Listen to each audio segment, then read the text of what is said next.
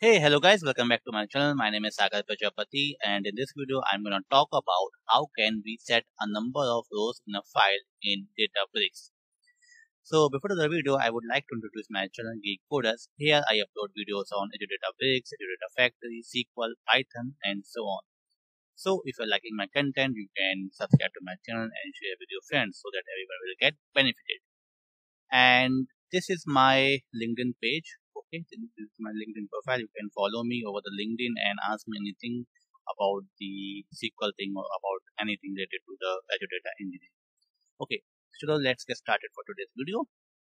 So this is my community edition of databricks you can see and this is the file which i'm gonna read it to the dbfs location. Okay so what if if i run this uh, cell and uh, if i do a display display df. Now you can see like we have around 126 rows present over here and these are the columns and right this is the columns we have it. Now I want to write this into the uh, into the dbfs or we can say any external location. So for that what I will do I will I will write this df dot write dot save not save mode I will use uh, override. You can use append or anything based on your need. And then I will use here save. And uh, the saving location would be let me use my location. So I am using here this output slash let's say uh, test underscore 123 hmm. and let me run this.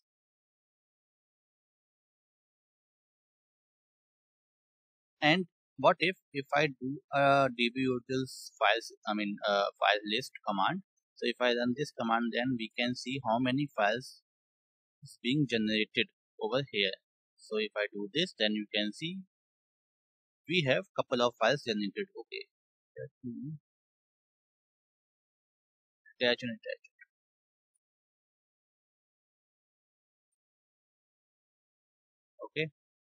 And again let me run this. And uh, let me change the location.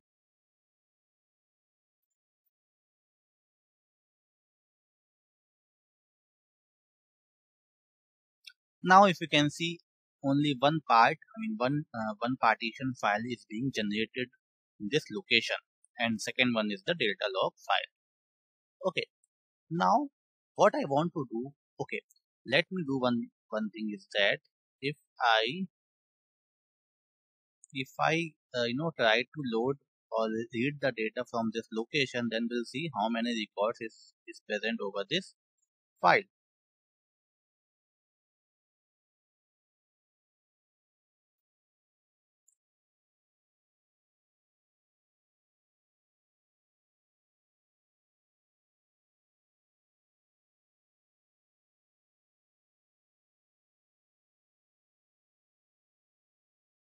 okay sorry my bad. Yeah now you can see we have this 126 file present. I mean 126 rows present only in one file. Now our task is to you know is to save uh, 10 records in each file 10 records in each files. Now if i have 126 26 rows if i have 126 rows okay? And I need to I need to uh, store only 10 rows in each of the file. Then total files would be total files would be 12.6 maybe 12 or 13 we can say okay? We can say around 10 12 or 13 file would be generated in this location. In order to do that I need to do some setting okay now what is the setting? There are two kind of settings. Uh, first one we can use a session based setting. Or the okay session based or we can say uh, on on the notebook level. So what I will write? I will write set spark dot sql dot files dot max file records records hmm, not file max records per file.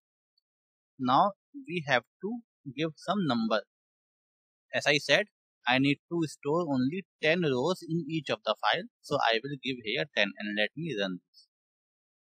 Okay? And now if I change the location and right. Now if I run this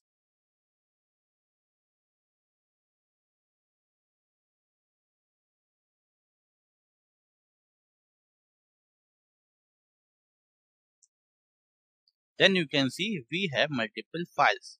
Now if I do a len of this then we will see how many files are present. It could be 12 or 13 see now 14 files. One file is a delta, delta log file and rest of the files are the part files or the partitions file.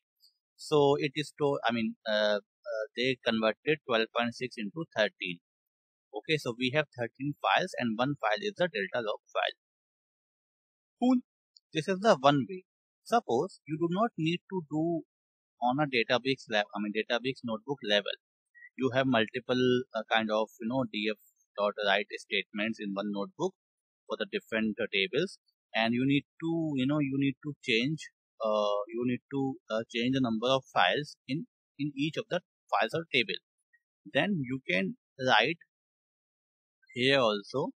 Let's say I am writing this option and option may you can write this last wala max record per file and you can give some number now i'm gonna give i'm gonna give let's say uh, 30 30 records in each of the in each file now we should have four or five files right so let me give here 30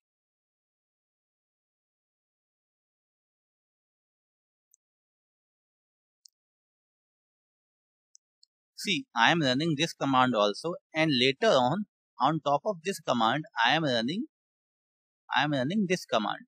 Sorry. And let me change the location. Give, let me give 3. And if I try to, re, I mean, do the length of this, uh, you know, number of files, then it is saying 6 because it converted 4.2 to 5 okay in like in, in last in last file maybe uh, you know it uh, distributed like 31 or 32 files of rows in each each for the file now and i mean uh, wait. And sixth one is the delta underscore log 5. now you have noticed one thing that i have written this thing okay? Later on if i run whenever i run this the priority is the, the priority is this command okay? Which is written on the cell means not the cell on the uh, right uh, right uh, command okay? So if you want to do the same thing for all the tables all the files then you can use this command. But if you do not want to do for each of the files you need you need to kind of uh, you know uh, set set different different uh, values for different kind of files then you can use this method. So okay. So i hope you have understood this concept.